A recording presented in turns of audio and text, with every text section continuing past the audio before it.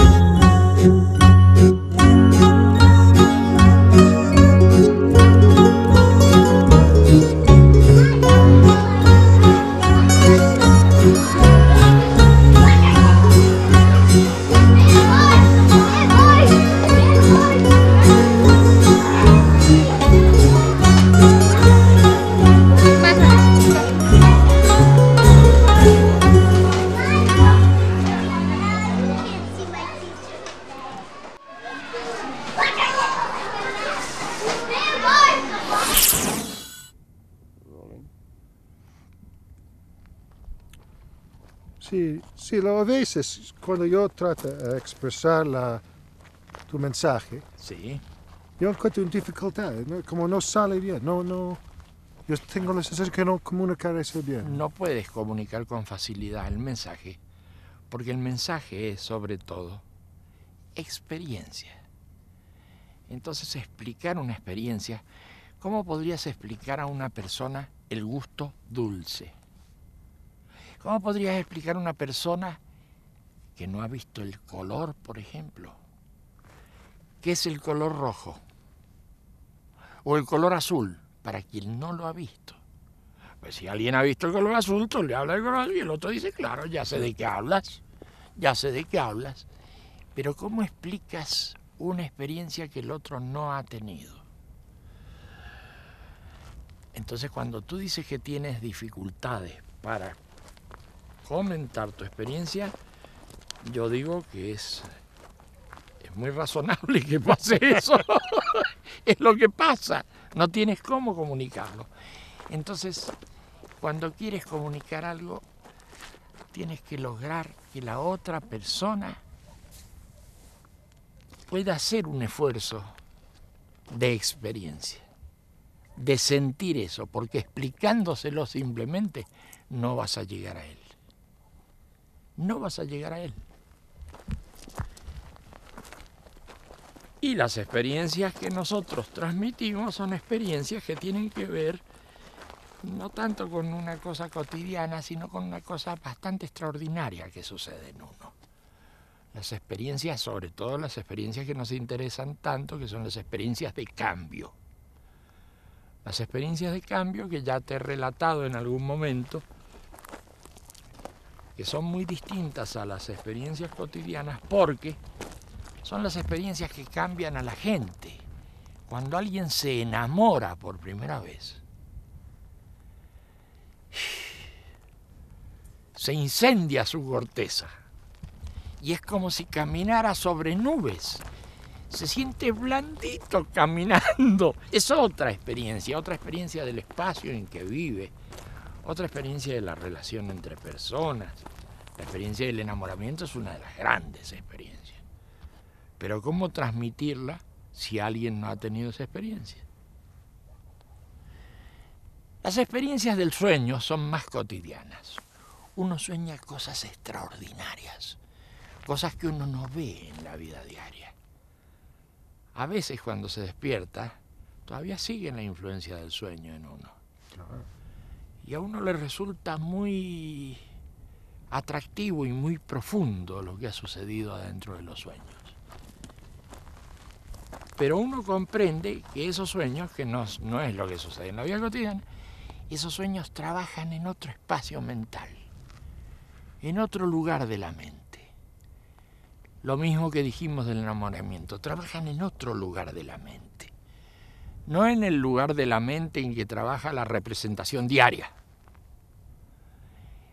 Pero existe entonces en cada uno de nosotros la capacidad de ubicarnos en otros lugares, de tomar otras profundidades.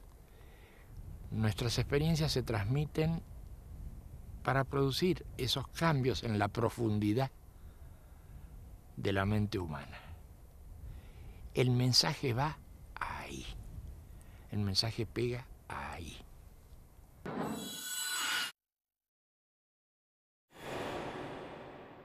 ¿Cómo puedes experimentar esas cosas? Bueno, ahora mismo podrías experimentar esas cosas. Dime, antes que nada, ¿tú tienes... Eh, habrás soñado alguna vez en tu vida? ¿Sí o no? Soñado, habrás tenido un sueño alguna vez en tu vida. Yo creo que uno conoce los sueños. Es un estado de conciencia distinto al que uno tiene en la vida cotidiana, el de los sueños, que tiene sobre uno mucha importancia y mucho poder y a veces le cambian a uno la vida. Las experiencias de los sueños, ¿no es cierto? Bien. ¿Alguna vez te habrás enamorado? Puede ser, una vez aunque sea es un tipo de experiencia que te puede cambiar la vida. Ese tipo de experiencias que se dan como en otro espacio, como en otro nivel. Las experiencias del amor, por ejemplo. Las experiencias de los sueños. Esas que todos hemos tenido y que no solemos tener en cuenta, que nos olvidamos de ellas son experiencias muy reveladoras en las que nosotros profundizamos.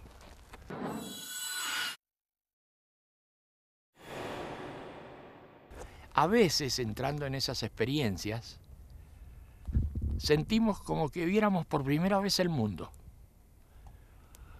Nunca he visto el mundo de ese modo y además dura muy poco tiempo. Dura poquísimo tiempo ver el mundo así y no puedo volver a eso después. A veces en el campo, como acá, veo una puesta de sol. Y en esa puesta de sol es como si entendiera todo, por muy poco tiempo. Es entender todo de golpe, por muy poco tiempo. Ligado a esa puesta de sol, es para mí una experiencia de cambio que puede llegar a ser muy importante. Pero yo habitualmente no saco consecuencias de eso. Todas las personas han tenido experiencias de ese tipo, pero son muy pocas las personas que han profundizado en esas experiencias. Ahí entramos nosotros, en las experiencias que se dan en otro espacio mental, que se dan en otra situación mental, que se dan en otro estado de conciencia. En esas experiencias entramos nosotros. Y hay un pequeño librito que se llama La mirada interna, que explica bastante esas experiencias. Ese es el librito que nosotros pasamos y le decimos a la gente, medite este librito, fíjese si en este librito están las cosas que a usted le resuenan como cosas importantes en su vida. Porque pronto va a salir el tema de Usted no va a estar aquí todo el tiempo. Usted va a partir, todos vamos a partir. La vida se acaba en algún momento. ¿Cómo sigue esta película? ¿Es que usted termina para siempre? ¿O es que algo continúa en usted? Usted quisiera tener respuesta sobre eso antes de partir, porque partir es seguro que va a partir pero le gustaría tener alguna respuesta sobre esa materia. Bien, ese librito habla de estas cosas, estas experiencias hablan de estas cosas. ¿Qué pasa con la vida, con el sentido de la vida, con lo que pasa después de la vida? ¿Qué pasa con la muerte? Todas esas cosas son las que nos interesan. Y a mucha gente le interesan. Por eso es que mucha gente escucha este mensaje. Pero no disertamos mucho sobre el mensaje teórico o el mensaje de ideas sino sobre esta cosa afectiva, conmocionante, experiencial. Sobre eso trabajamos con la gente que se acerca. Entonces la gente viene, pregunta, nosotros decimos, hagamos alguna experiencia y ya está.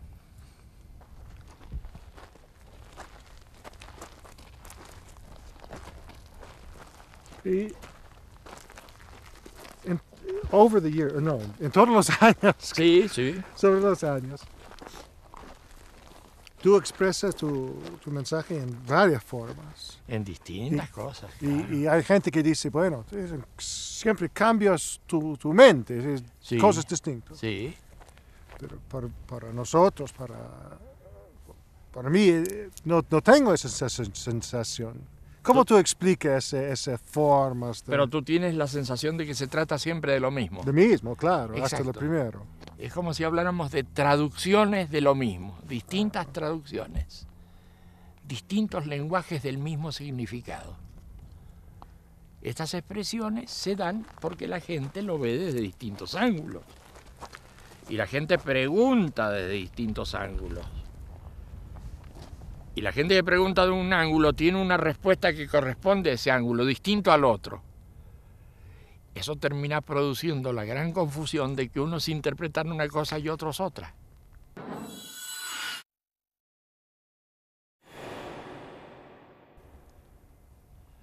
Nosotros que tenemos la cabeza tan cerrada, creemos siempre que la interpretación tiene que ser una. Y resulta que las interpretaciones son diversas porque son diversos los ángulos de las personas. Y eso ocurre con el lenguaje. Parece que fueran cosas distintas. En realidad es la misma historia en el fondo. Pero son traducciones distintas de ese mensaje. Son traducciones distintas. Tú lo has visto y, tú tienes la experiencia de que siempre estamos hablando de lo mismo. Claro, claro, sí. Siempre estamos hablando de lo mismo. Sí, es así. Es así. Y si tú hablas con alguien que no escucha antes de esa cosa, ¿qué tú pones como las cosas, la, tr- la- la tema central? El el tema central, el sufrimiento humano.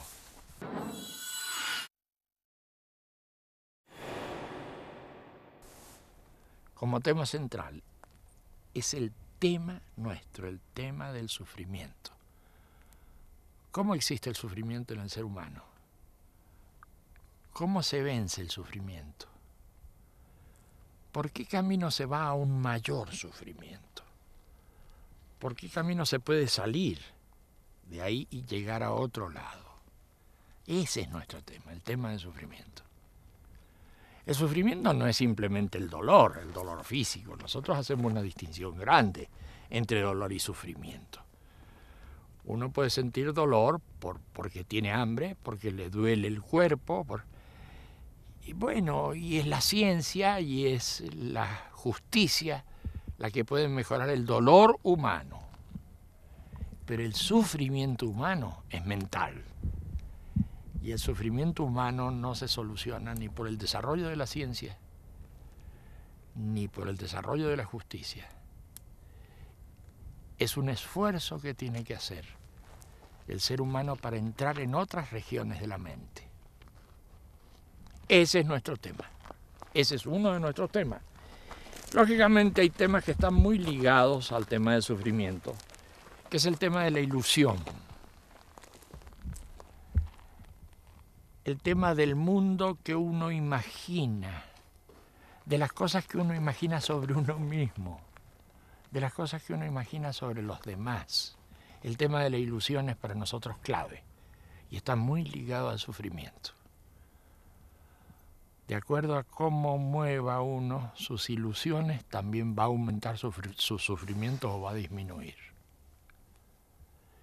Y el tema, por último, de las creencias, de las cosas que uno cree. El tema de las cosas que uno cree. Sobre los demás, sobre uno mismo, sobre el mundo, sobre la vida, sobre la duración de la vida. Porque cuando uno está en estado normal haciendo cosas, siempre tiene la sensación y la creencia de que uno no se va a morir. Por supuesto, si a uno le preguntan, oiga, ¿usted se va a morir? Claro, va a decir claro. claro, sí, pero no lo dice. Pero en el fondo no lo cree. Sí, sí, claro, es razonable. Eh, todos nos vamos a morir. Pero no lo cree. Si lo sintiera en ese momento, temblaría como una hoja, se caería al suelo, por supuesto. Por supuesto. De manera que el tema del sufrimiento, el tema de las ilusiones, el tema de la finitud, el tema de las creencias, esos son los temas interesantes para nosotros. Esos son los temas en los que nosotros andamos. Sí, la gente siempre piensa eso como tiene un cuadro como cosa religiosa.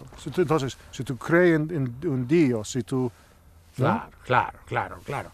Pero resulta que nosotros no podemos meter nuestros temas en el campo de lo religioso, porque para estar en el campo de lo religioso hay que tener dioses, hay que tener sacerdotes, hay que tener libros sagrados, y para nosotros los dioses, o el dios, que sería lo mismo, eh, para nosotros no es algo confirmado, para nosotros es algo dudoso simplemente.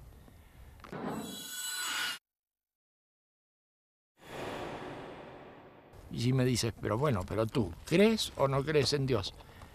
Para mí no tiene ningún interés el tema. Porque el Dios no es el que va a solucionar mi problema de sufrimiento el Dios no es el que va a solucionar mi problema de, de futuro, de ninguna manera. Y los que dicen que tienen a Dios para solucionar esos problemas, sufren tanto, tienen tantos problemas de futuro, tanta inseguridad, tantas cosas que uno duda de que ellos a su vez crean en Dios. Entonces pongámoslo más simple, pongámoslo más fácil.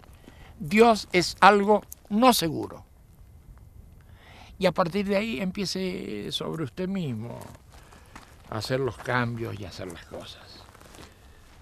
Bueno, yo creo en Dios, nos va a decir uno, otro va a decir yo no creo en Dios, y nosotros le vamos a decir, Dios es algo no seguro. ¿Cómo que es algo no seguro?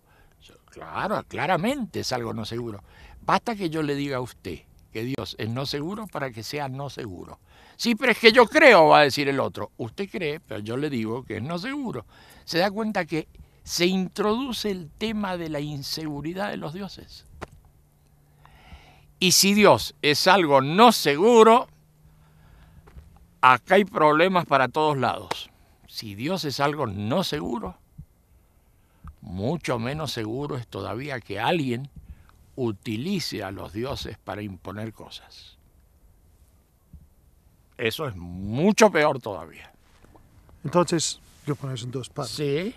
Uno por la creyente y el otro por sí. Entonces, ¿qué tú dices a la creyente, a la gente que cree en Dios? ¿Qué, qué, qué, qué tú dices a ellos? Yo lo que le digo es que, que él crea o no crea, perfecto. Me parece muy bien que crea o que no crea, me da igual. Pero que ese no es el tema para salir del mundo del sufrimiento y para crear un nuevo tipo de ser humano. Ese no es el tema. Eso es lo que le digo a la gente que cree, que crea. Y si me dice que no cree, pues que no crea, porque el tema es otro. El tema es otro, no es el tema de que cree en Dios o no cree en Dios.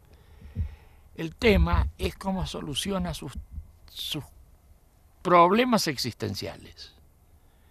Y lo existencial no se resuelve porque crea o no crea en Dios. Y, basta verlo, basta verlo, uno lo puede experimentar. Tome, así como si hiciéramos una receta, tome tres cucharadas de azúcar, tome, eh, bueno, tome a una persona que tenga fuertes creencias en Dios y pregúntele cómo ha solucionado sus problemas en la vida, cómo ha solucionado sus angustias, sus temores, sus... Y luego tome a otra persona que no cree en Dios y pregunte cómo ha solucionado sus temas, sus temores. Y nos vamos a encontrar que los dos casos, que son tan distintos porque unos creen en Dios y otros no, nos vamos a encontrar con que son muy parecidos porque tienen las mismas angustias, los mismos temores, la misma desesperación por morirse. Entonces nosotros decimos, estos son temas muy interesantes, pero no vienen al caso. Lo que viene al caso es el estudio, la profundización del tema del sufrimiento. Eso viene al caso. Viene al caso el entender que las creencias eh, no son las que solucionan los problemas. Viene al caso el entender que uno vive temiendo cosas, lleno de temores, lleno de angustias. Eso es lo que a nosotros nos parece importante destacar. Eso. Y a esa persona Sí, que no, nunca escucha nada de eso sí. y, y- y llega ahora, escucha, es- es- es- escucha ¿qué tú dices él? ¿Cómo, ¿Cómo comienza? ¿Cómo yo puedo comenzar a superar mi sufrimiento? ¿Dónde? ¿Cómo? ¿Qué es el primer paso? Yo no le digo a él nada. Es él el que se acerca a preguntar. Eso es importante también.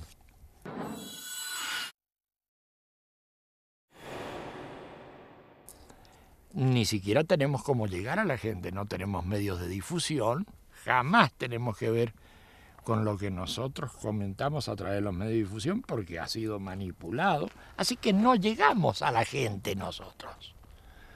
Nosotros somos una voz que habla en el desierto.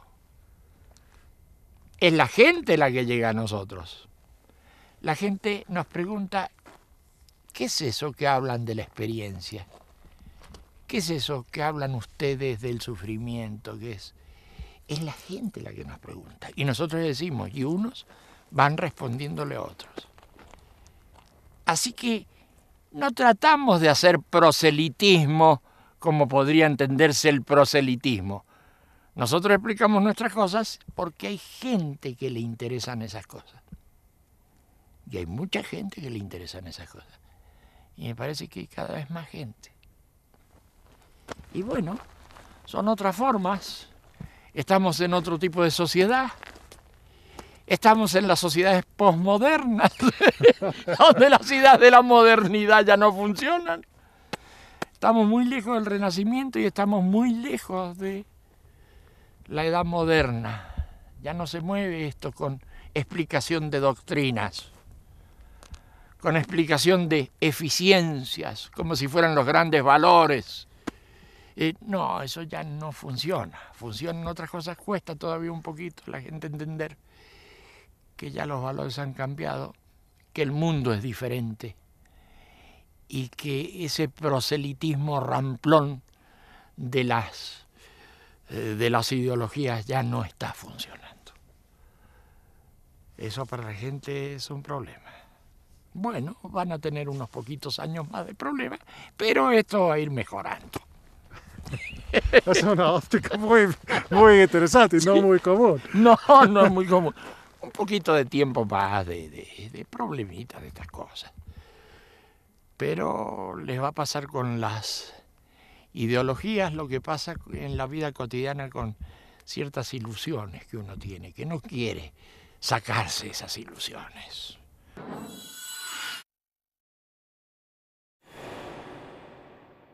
No quiere despojarse de esas ilusiones que uno tiene porque creen que gracias a esas ilusiones ellos pueden vivir.